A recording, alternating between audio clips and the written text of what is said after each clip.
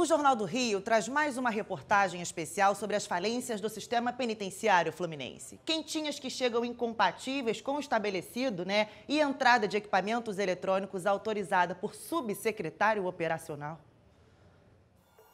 Quentinhas fora de caixas térmicas, comida com péssima aparência, pesos e cardápios incompatíveis com o estabelecido em termo de referência.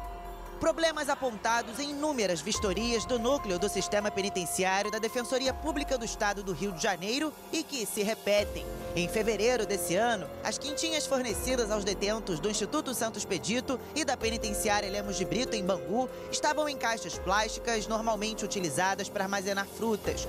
Em duas ocasiões, o feijão estava em potes fora de caixas térmicas, o que não é permitido. A quentinha chega lá, chega completamente irregular, fora do peso. À noite, nos finais de semana, ela não chega normal, vem em miúdos, vem em salsicha, tudo que é proibido pelo contrato. Eu desconheço essa alimentação hoje, então, tá, então que fique consignado que a secretária negou que essas fotografias sejam oriundas Neguei, da não, eu disse desconhecer.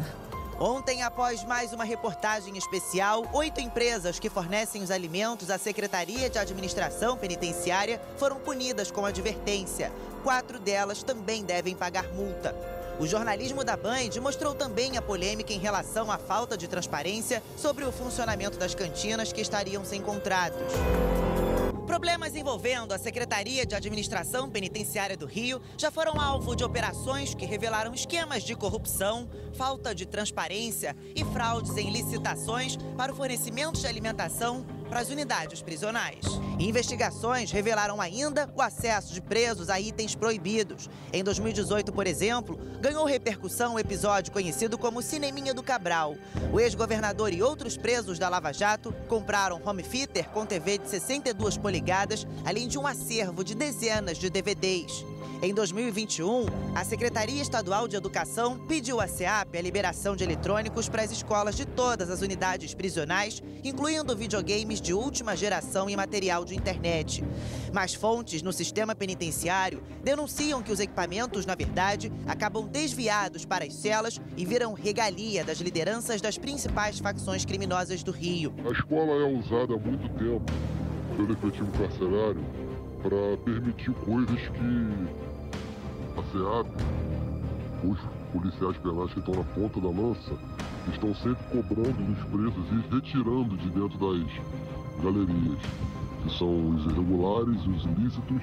Dois anos depois, um documento assinado pelo subsecretário de Gestão Operacional, Rogério Ferreira da Rocha, autorizou a entrada de impressora multifuncional, notebook, smart TV, computadores. Nós procuramos a Secretaria Estadual de Educação, mas até o momento não tivemos retorno. Já a Secretaria de Administração Penitenciária informou que as unidades prisionais contam com unidades de educação que oferecem aulas de ensino médio, pré-vestibular e educação de jovens e adultos. E seguem fielmente as diretrizes da Secretaria de Educação, que inclui a aquisição de materiais escolares e também de equipamentos. Sobre os itens citados na reportagem, a SEAP afirmou que não vai permitir a entrada de videogames ou ferramentas similares, uma vez que o ingresso desses equipamentos eletrônicos nas unidades prisionais é terminantemente proibida.